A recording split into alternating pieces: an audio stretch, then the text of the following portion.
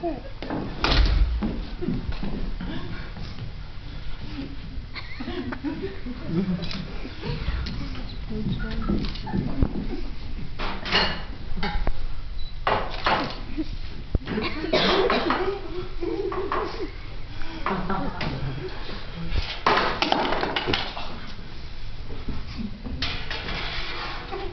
har ikke spist.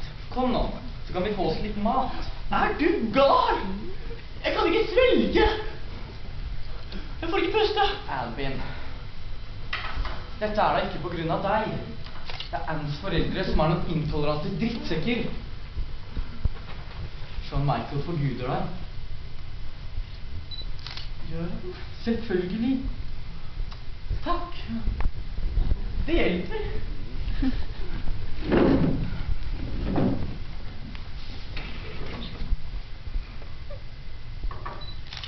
Ja,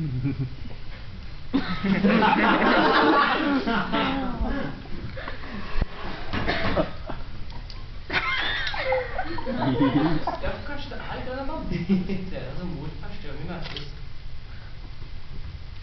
Albin, altså Hvis du absolutt skulle være der, kunne du vel heller ha forestilt onkel Al. Onkel Al. Ja? Hva er det som er så galt med det? Det er en direkte nedgradering. Alle husker at alkoholiker hadde ikke presentert som hushjelpen. En kvinnealkoholiker er i det minste en kvinne. I disse menneskers bevissthet er en hvilken som helst heterofil person bedre enn en soper. Så det ikke soper, da. Bare for et en sønn. Det var da ikke noe uhell.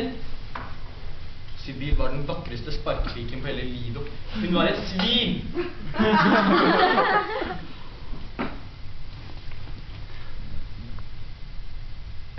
Jeg spilte rollen som gresk gud. Det gjorde at vi lå med hverandre. Hun var villig, og jeg tenkte hvorfor ikke? Alle snakker jo så mye om dette her. Kunne jo like gjerne finne ut hva det var for noe alt sammen. Det var en vakker og meget spesiell opplevelse. Så du husker da du, så full som du var, Du har vært fra midnatt til kvart over tre. Så spør du tre kunne jeg ikke akkurat vært. bare kast mot et annet sted, du. Udyr. Så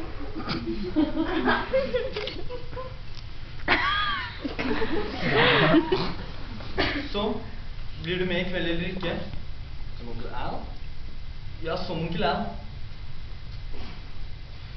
Men da blir vi jo nødt til å øve litt.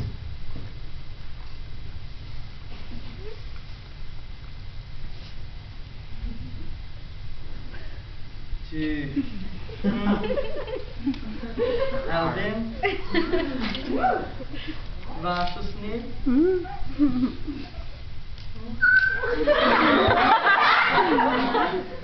Jeg vil er bare du trenger meg. Enten han vet det eller ikke. Så du får lyst til alt sammen ikke jeg var der.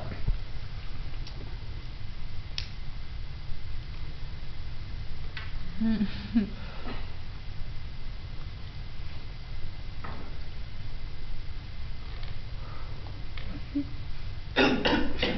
er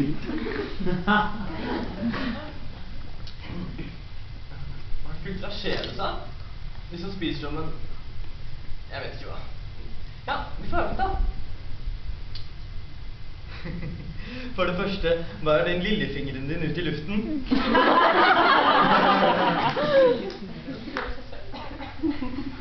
Jeg forteller det til moralsk samling, du. Det er navnet på partiet til Anns far. Ja. ja, det er jo det. Men ikke for sånne som oss. Ja, så for deg som en mann, da. Hm? Hm? Ta skikkelig tak i kniven og smør smøret på. Kom igjen nå. Vær maskulin. Du er en mann.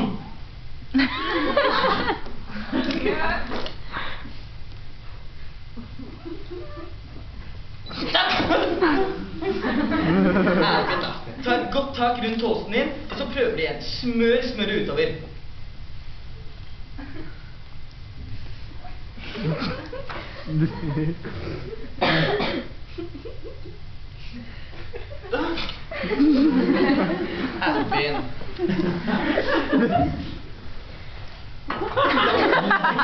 Men inne! Jeg klarer ikke! Du er en mann. Ikke sitt som noe fjas. Vær maskulin. Mann. Jeg er en mann. Alvin, da. Det er da ingen krise om den belten. Se her. Ta en ny toast nå, så prøver vi med syltetøyet. Maskulin.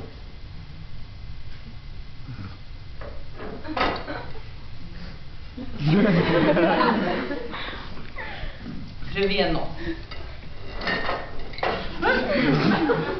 Alvin, hvis du skal ta livet av meg, så sikt etter øynene.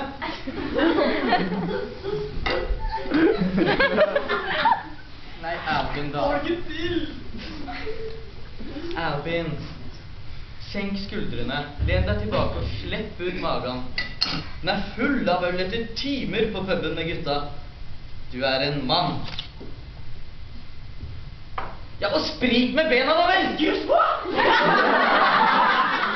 Du er en mann.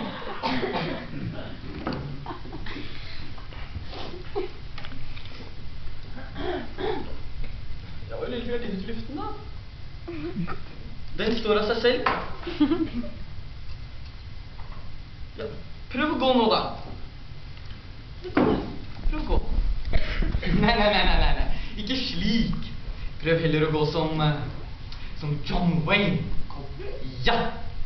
Stiger av hesten, strekker på bena og går bredbent gjennom svingdørene. Du er en mann. Jeg er en mann. Du er en mann.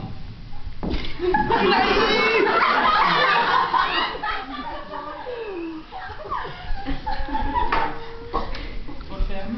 Ja, definitivt! Kom her nå, rekk meg hånden din. Nei, ikke slik. Den skal da ikke kysses. Ta et skikkelig tak. Nå. Hva syns du om kampen? Det var jo smule pussig.